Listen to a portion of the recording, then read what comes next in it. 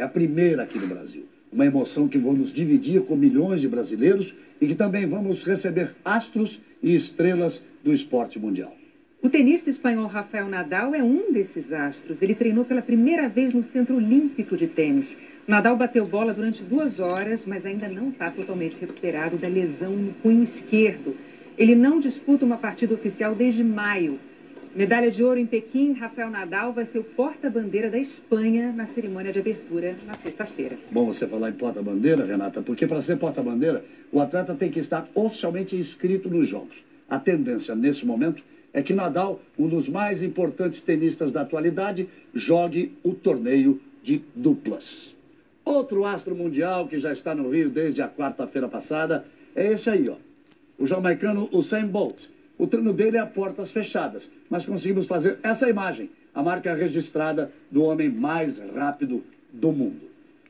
E os astros do basquete americano vão ficar hospedados num transatlântico que já está atracado no Pier Mauá, na zona portuária do Rio. Quem está lá pertinho do navio é o repórter Ernesto Palha. Boa noite, Palha.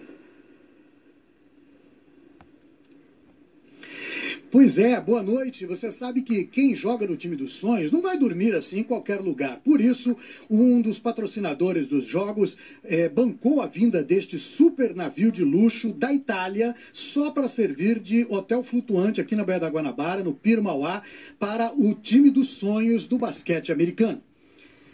O navio é um dos poucos cruzeiros seis estrelas do mundo. E quando saírem para treinar no clube do Flamengo aqui na Zona Sul, os jogadores americanos ainda vão poder ver bem em frente ao pier o maior grafite do mundo. Um painel de aproximadamente 3 mil metros quadrados, pintado pelo artista Cobra, que é um brasileiro conhecido mundialmente.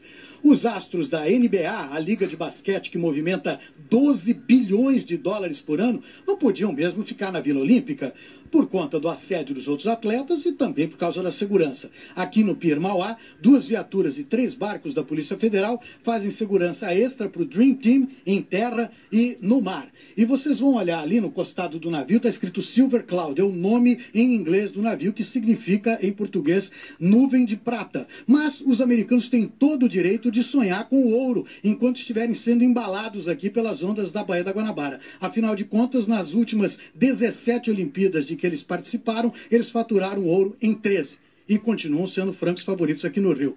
Que onda, hein, Renata? É verdade, Palha. Todos têm direito a sonhar nessa Olimpíada, então mais o Dream Team.